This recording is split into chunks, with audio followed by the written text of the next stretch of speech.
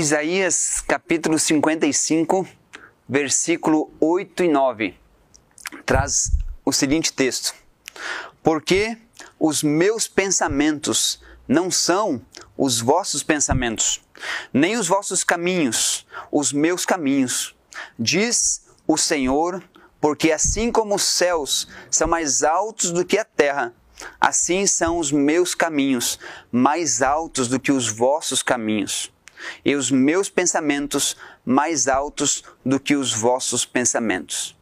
Enquanto a, no, a, a nossa mente ela foca apenas aquilo que está ao nosso redor ou foca aquilo que a gente consegue ver, Deus está focando a eternidade. Enquanto nós vemos o tempo passar através do relógio, através dos dias, Deus ele está focado na eternidade também. Queridos, vejam só, esse texto está dizendo que Deus, ele tem sonhos maiores do que os teus sonhos. Os planos de Deus são maiores do que os teus planos. Veja, muitas vezes nós olhamos para uma casa e admiramos, olhamos, que casa linda, mas eu quero dizer para você, que no céu as casas serão mais lindas ainda. Talvez a gente olhe para uma pessoa e dizemos que pessoa linda, mas sabe que lá no céu as pessoas serão mais lindas ainda.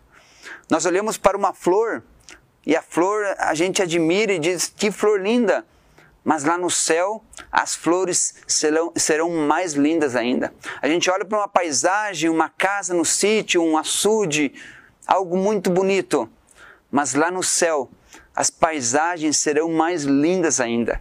Veja, queridos, Deus quer que eu e você tenhamos sonhos maiores. Você pode planejar o que quiser aqui para essa terra, mas o maior sonho para sua vida deve ir para o céu. Você deve sonhar com seus filhos como sendo bons profissionais, pessoas que abençoem as pessoas que estão ao seu redor. Mas sonhe também principalmente que seus filhos tenham o sonho de ir para o céu.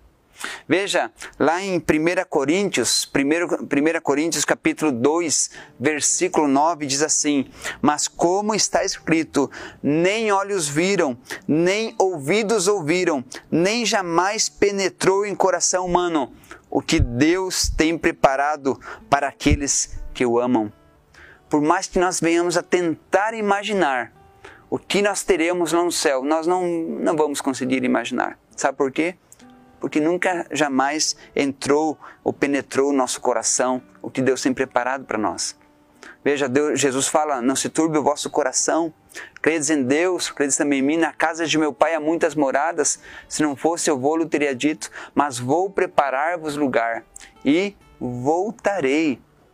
A promessa da volta de Jesus é certa ela Jesus prometeu e ele vai cumprir. Portanto, meu querido irmão, meu querido amigo, pense nas coisas do céu, almeje a eternidade. Pensa naquilo que Deus está preparando para mim e para você, porque os sonhos dele são muito maiores do que os nossos. Planeje, se organize, trabalhe, faça planos para essa vida. Mas o maior plano deve ser buscar o reino dos céus. E todas as outras coisas lhes serão acrescentadas. Amém? Vamos orar por isso? Oramos. Querido e amado Deus, obrigado pela esperança e obrigado, Senhor Deus, porque o seu plano é maior do que o nosso plano. Obrigado, Senhor Deus, porque é, os seus pensamentos são maiores do que os nossos pensamentos. O Senhor que coordena todo o universo. O Senhor que está sentado no trono, regendo todo o universo o Senhor sabe muito mais do que nós. Nós somos um pozinho aqui nessa terra. Mas nós também queremos, Senhor Deus, sonhar com a eternidade.